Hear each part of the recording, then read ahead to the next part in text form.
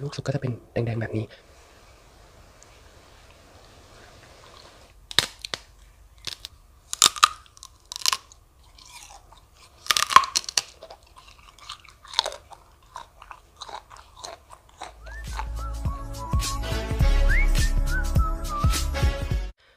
สวัสดีครับทุกคนยินดีต้อนรับเข้าสู่ช่องขันตินะครับ และคลิปนี้ที่อยู่หน้าติดตอนนี้นะครับทุกคน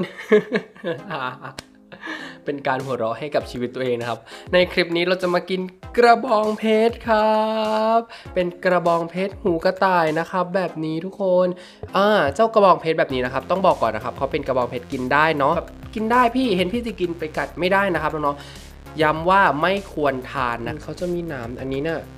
นำนามออกไปบ้างแล้วนะครับ แต่ว่าเขาก็ยังมีนามเขาเรียกว่าเป็นนามแบบนามเล็กๆอะครับยังติดอยู่นะครับฉะนั้นเนี่ยต้องระวังมากๆเลยนะครับ ไม่รอช้าครับมาเรามาทำ ASMR กระบองเพชรหูกระต่ายกันเลยเย้ว่าต้นจริงนะ เดี๋ยวผมตั้งไว้สวยใช่ไหมมาแก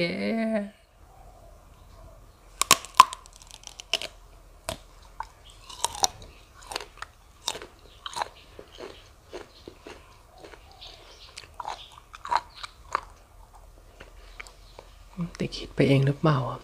มันรสชาตินะครับนี่กัดไปแล้ว มันมีความเปรี้ยวๆนะครับ แล้วก็ มันมันกลิ่นมันเป็นแบบกลิ่นแบบเหม็นเขียว แต่ว่าไม่เหม็นเขียว แล้วก็ไม่ทรมานเท่าว่านหางจระเข้ครับทุกคนถามว่ามันอร่อยไหมทองตรงนะ มันไม่อร่อย แต่กินได้ไหมรสชาติมันกินได้ครับ มันเป็นรสชาติที่แบบเออยังรับไหวอยู่แล้วก็ไม่ได้เหม็นเขียวมากนะครับ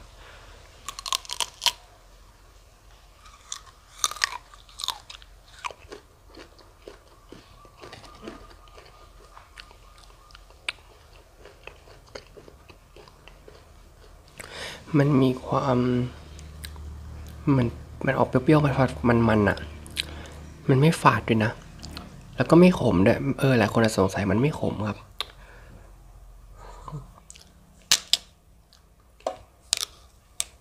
เอาน้ำออกก่อน เอากัดน้ำไปแล้วด้วย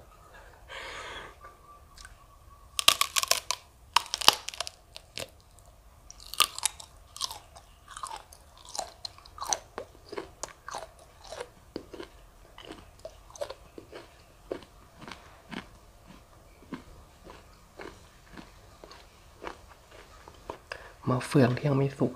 มันเปรี้ยวๆแล้วกินเหมือนมะเฟืองอะ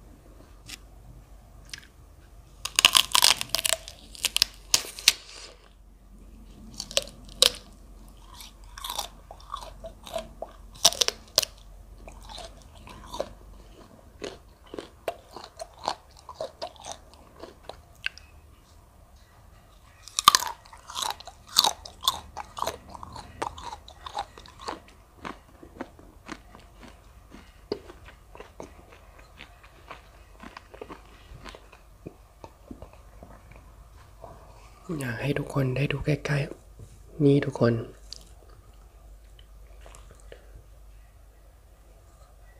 นี่ทุกคนดูใกล้ๆนะครับ ในนี้มันจะเป็นเนื้อนะครับ สังเกตว่าเขาจะมีเลเยอร์ของผนังมันนะครับ ที่คูบสองฝักแล้วก็ในข้างในเนี่ยจะเป็นเนื้อแค่เออมันก็กินได้อยู่นะ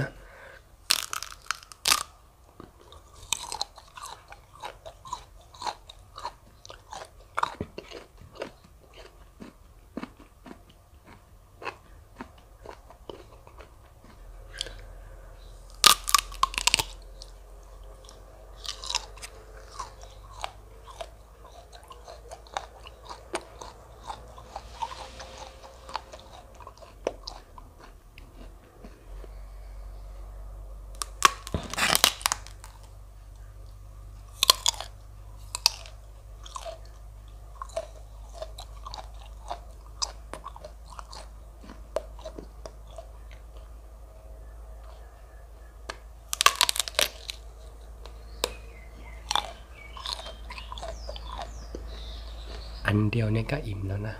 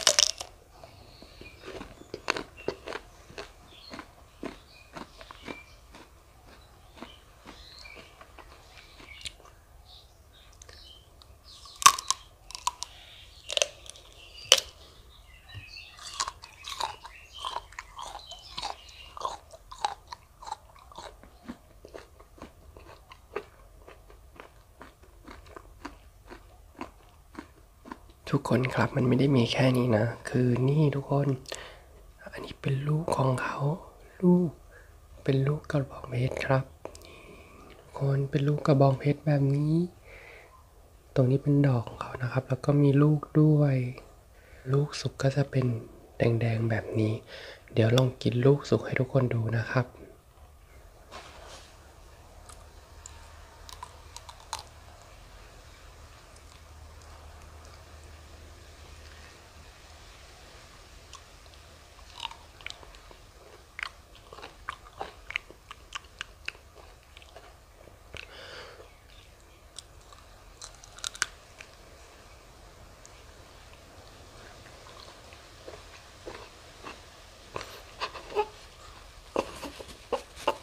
แกลูกสุกข้างในมันหวานมาก แล้วสีแดงๆที่เห็นไม่ใช่เลือด แต่ว่าะมันเป็นสีของงาอร่อย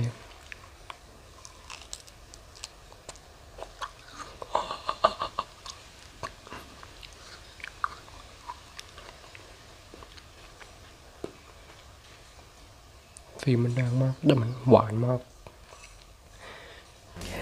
ลูกมันอร่อยมาก อันนี้ก็กินได้นะแต่ลูกมันอร่อย